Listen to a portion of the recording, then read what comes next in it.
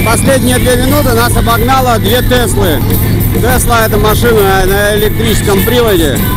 Одна была черная, одна была красная. Вот впереди едет. У нее значок буква Т сзади.